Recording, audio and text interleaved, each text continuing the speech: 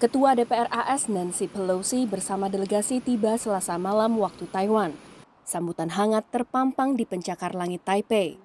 Namun pemerintah Tiongkok mengirimkan pesan berlawanan. Militer Tiongkok merilis video latihan terbaru yang mengindikasikan simulasi invasi. 美方必将为其损害中国主权安全利益承担责任、付出代价。 Sepekan terakhir, Tiongkok meningkatkan latihan militernya di daerah sekitar Taiwan, memunculkan kekhawatiran analis akan adanya miskalkulasi.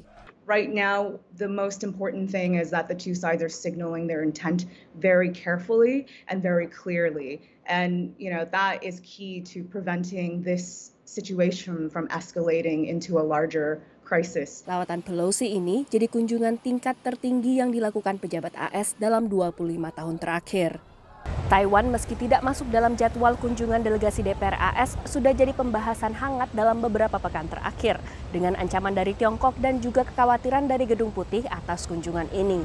Isu Taiwan juga jadi salah satu bahasan utama dalam perbincangan telepon selama dua jam antara Presiden AS Joe Biden dengan Presiden Tiongkok Xi Jinping pada pekan sebelumnya.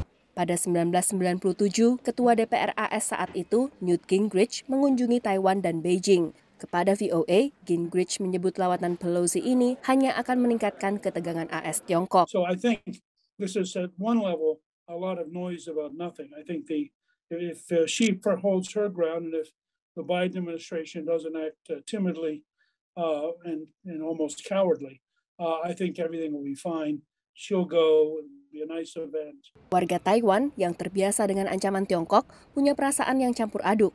Sebagian besar merasa lebih tenang dengan prospek dukungan AS. On the other hand, there is a group of Taiwanese people who are very suspicious about the intention and the purpose and the effect of the visit.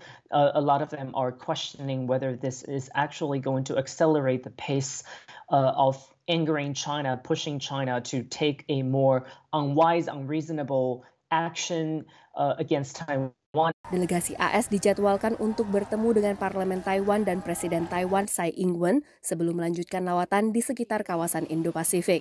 Dari Alexandria, Virginia, Virginia Gunawan dan tim VOA.